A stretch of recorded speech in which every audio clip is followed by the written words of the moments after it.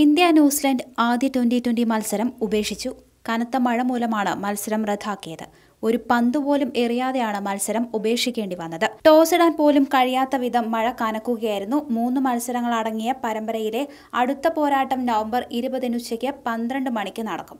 മലയാളി താരം സഞ്ജു സാംസൺ കളിക്കാനിറങ്ങുമെന്ന പ്രതീക്ഷയിൽ മത്സരത്തിനായി കാത്തുനിന്ന ആരാധകർക്ക് ഈ വാർത്ത കനത്ത തിരിച്ചടിയാണ് നൽകിയിരിക്കുന്നത്. കെയ്ൻ വില്യംസിന്റെ നേതൃത്വത്തിലുള്ള ഒന്നാം നിര ടീമിനെ ന്യൂസിലൻഡ് അണിനിരത്തുമ്പോൾ ഇന്ത്യയുടേത് യുവനിരയാണ്. ക്യാപ്റ്റൻ രോഹിത് ശർമ്മ വിരാട് കോഹ്ലി കെ രാഹുൽ തുടങ്ങിയ സീനിയർ താരങ്ങൾ ടീമിലില്ല.